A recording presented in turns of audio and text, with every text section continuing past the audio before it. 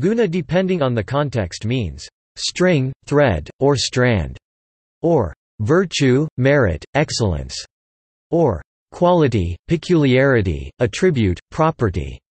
The concept is originally notable as a feature of Samkhya philosophy, though possibly a later feature of it. The gunas are now a key concept in nearly all schools of Hindu philosophy.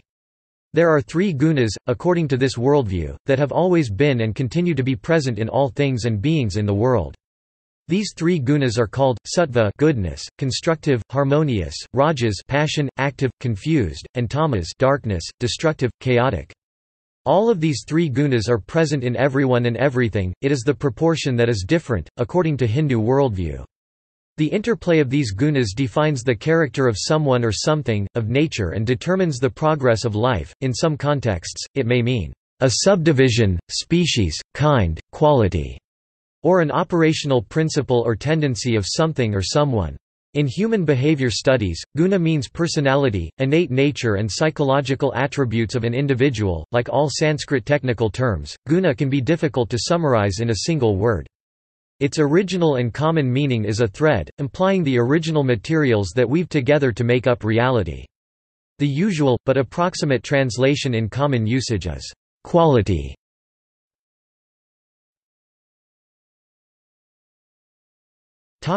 Terminology Guna appears in many ancient and medieval-era Indian texts. Depending on the context, it means string or thread, rope, sinew, cord music, vowel phonology and arts literature virtue, merit, excellence dharma and soteriological literature Quality, peculiarity, tendency, attribute, property, species sastras, sutras, the epics, food and analytical literature the root and origins guna is both a root and a word in Sanskrit.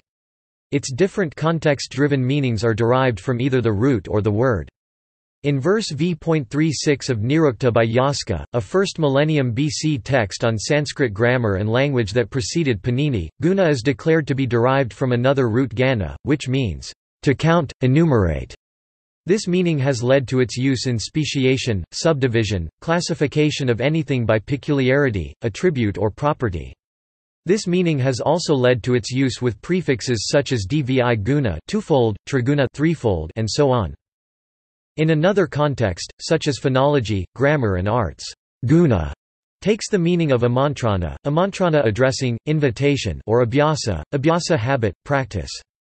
In the Mahabharata Book 6 Chapter 2, the meaning of guna similarly comes in the sense of addressing each part the root implying amantrana, and thereby it means avayava, avayava member, subdivision, portion. In Sanskrit treatises on food and cooking, guna means quality, tendency and nature of ingredient. Ancient South Indian commentators, such as Lingayasaran, explain that the meaning of guna as thread, string, comes from the root guna in the sense of repetition abhyasa, while the Telugu commentator Mallinatha explains the root guna is to be understood in Sisupalavadha as amredana, amredana reiteration, repetition. Larson and Bhattacharya suggest that the thread metaphor relates to that which connects and runs between what we objectively observe to the tattva, tattva elementary property, principle, invisible essence of someone or something, in the context of philosophy, morality and understanding nature. Guna with more dental na takes the meaning of addressing quality, substance, tendency and property. In abstract discussion, it includes all hues of qualities, desirable, neutral or undesirable, but if unspecified, it is assumed with good faith to be good and divine in Indian philosophy. Thus, guni from the root guna means someone or something with divine qualities, as in Svetasvatara Upanishad hymn v.2.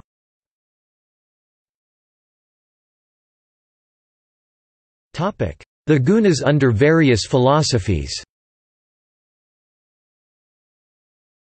Innate qualities and tendencies are key ancient concepts in Indian literature.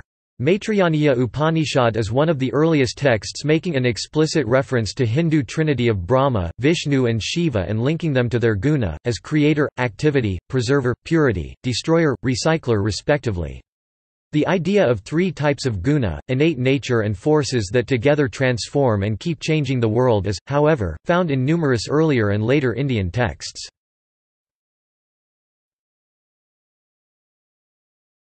Samkhya school of Hinduism In Samkhya philosophy, a guna is one of three tendencies, qualities, sattva, rajas and tamas. This category of qualities has been widely adopted by various schools of Hinduism for categorizing behavior and natural phenomena. The three qualities are Sattva is the quality of balance, harmony, goodness, purity, universalism, holism, construction, creativity, positivism, peacefulness, and virtue. Rajas is the quality of passion, activity, neither good nor bad and sometimes either, self-centeredness, egoism, individualization, drivenness, movement, and dynamism. Tamas is the quality of imbalance, disorder, chaos, anxiety, impurity, destruction, delusion, negativity, dullness or inactivity, apathy, inertia or lethargy, violence, viciousness, and ignorance. In Indian philosophy, these qualities are not considered as present in either or fashion. Rather, everyone and everything has all three, only in different proportions and in different contexts. The living being or substance is viewed as the net result of the joint effect of these three qualities. According to Samkhya school, no one and nothing is either purely sattvic or purely rajasic or purely tamasic. One's nature and behavior constitute a complex interplay of all of all three gunas, in varying degrees. In some, the conduct is rajasic with significant influence of sattvic guna, in some it is rajasic with significant influence of tamasic guna, and so on. The balance of gunas of everything and everyone can change and does. However, change in one quality faces inertia from other two qualities in Indian worldview. Change needs internal or external influence or reinforcement, as knowledge and force to transform. The force to change comes from the rajas guna, the sattva guna empowers one towards harmonious and constructive change, while tamas guna checks or retards the process. In Indian mythology, Vishnu is envisioned with more sattva, Brahma with more rajas, and Shiva seen with all three gunas.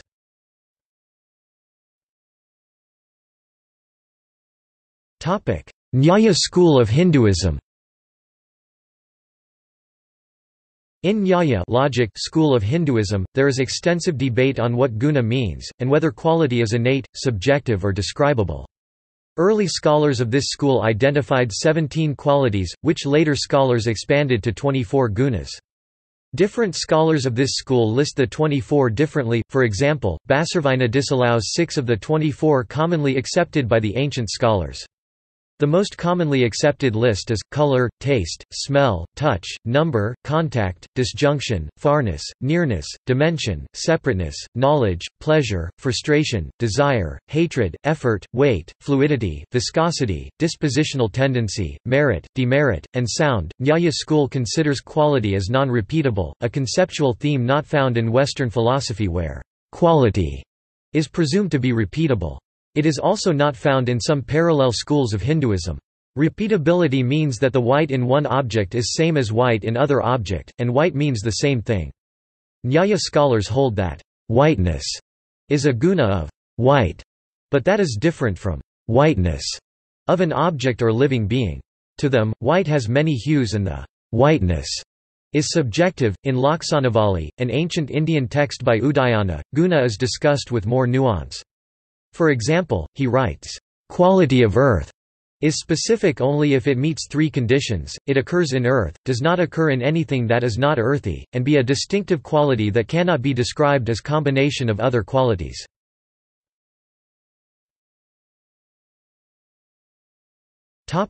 Vaisheshika school of Hinduism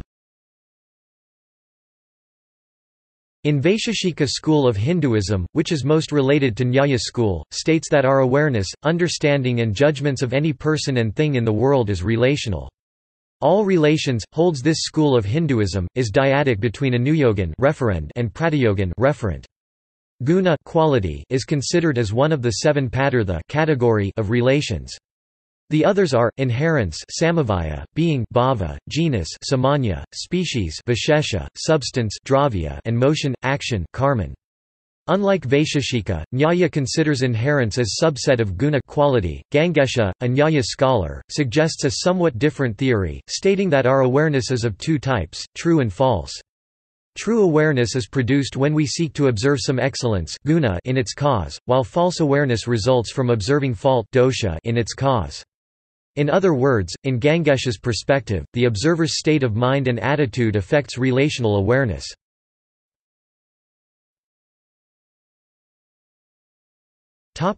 Bhagavad Gita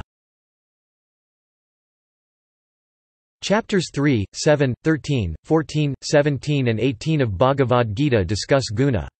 Verse 17.2 refers to the three guna, sattvic, rajasic and tamasic, as innate nature psychology or personality of an individual. Sattvic guna is one driven by what is pure, truth, compassionate, without craving, doing the right because it is right, positive and good. Tamasic guna is one driven by what is impure, dark, destructive, aimed to hurt another, contemptuous, negative and vicious. Rajasic guna is one that is ego-driven, out of personal passion, active, ostentatious, seeking the approval of others. In chapters 17 and 18, Bhagavad Gita illustrates various items and actions by their three guna. For example, three types of charity are discussed, and what makes charity sattvic, rajasic or tamasic. Similarly, food, relationships, knowledge and actions are detailed in terms of the three guna. In Chapter 18, for example, Niyatam sangarahitamaragad kirtam afalaprepsuna karma yatatsattvakamusyate, yatu kamapsuna karma sahankarina va puna kriyate bahalayasam tadrajasamudurtam, anubandam kasayam hinsamanapexia ka parisam mohadarabhyate karma yatatamasam Action that is virtuous, thought through, free from attachment, and without craving for results is considered sattvic. Action that is driven purely by craving for pleasure, selfishness and much effort is rajasic. Action that is undertaken because of delusion, disregarding consequences, without considering loss or injury to others or self, is called tamasic. Similarly, knowledge that is attached to object of action, without concern for understanding the cause, without concern for purpose or significance, is tamasic knowledge, knowledge that is segregated, that considers everything unconnected, individualistic and meaningless as rajasic, knowledge that sees one being in all beings, that seeks the whole, a unity in diversity, and similarities in the divided components as sattvic.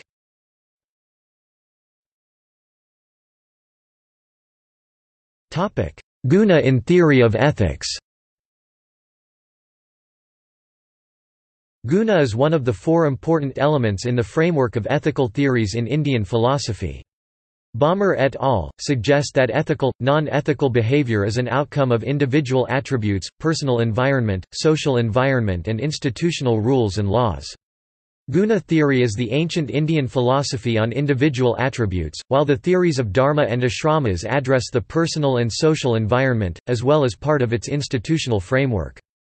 Guna theory, states Crawford, represents a hierarchical theory of values, where the relative order of hierarchy is suggested to vary within each individual along with the relative proportion of each guna. The interplay of three gunas affect an individual's values, and in Hindu worldview, these values affect individuals' actions, as well as the happiness and serenity experienced by the individual.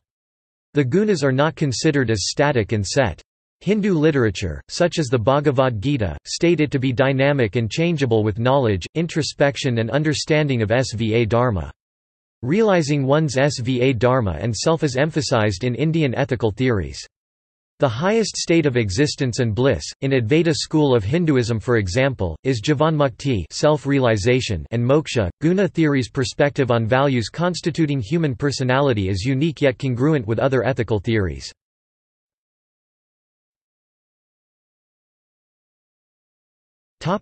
Guna in cosmology Samkhya cosmology combines the three gunas with primal matter universe, prakrti. These are present in all things and beings in the world, and it is their interplay that defines the physical and psychological character and nature. They serve as the fundamental operating principles or tendencies of prakrti which are called, sattva guna, rajas guna, and tamas guna. When any of the guna is out of balance in a being or object, the Samkhya school suggests that a pattern of evolution starts, affecting not only itself but its environment. Purusha, or consciousness, is considered as separate from prakriti and changeless.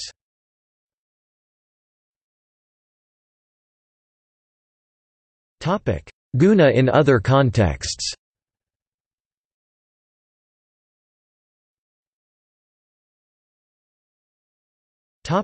Sanskrit grammar In the Sanskrit grammatical tradition Vyakarana, guna is an ancient language innovation that strengthens vowel stems, making it more visually palpable when written and more musically resonant when heard. Dwight states that the use of guna makes the Sanskrit language more dynamical, bringing out into relief the idea expressed, given its complexity. In other words, the use of guna in Sanskrit adds depth and sophistication in its phonetic delivery as well as intellectual structure. These innovations are not unique to Sanskrit, but also found in Greek, Latin, Italian and to some extent Russian. Guna and other rules of language for Sanskrit are described by Panini in his Ashtadhyayi. Guna refers to a set of normal-length vowels that are less reduced than the basic set in modern terms, the zero grade, but more reduced than the vrddhi vowels in modern terms, the lengthened grade. As an example, r, i, u are basic zero grade vowels, with corresponding guna full grade vowels r, e, o and vrddhi lengthened grade vowels r, i, o. This is more understandable once it is realized that, at an earlier stage of development, Sanskrit E and O were I and O, and Sanskrit I and O were I and O. Guna corresponds to what is now termed the full grade in Indo-European ablaut. Another orthography and phonology concept related to guna is Briddhi.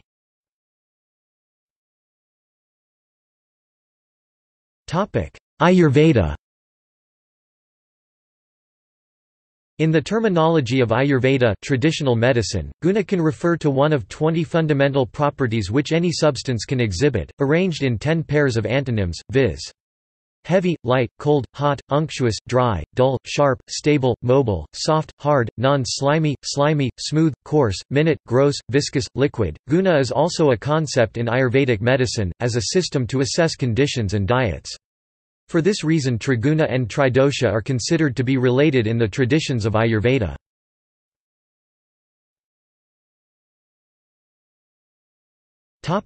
See also Maya Nirguna Brahman, Saguna Brahman Jain Sattvika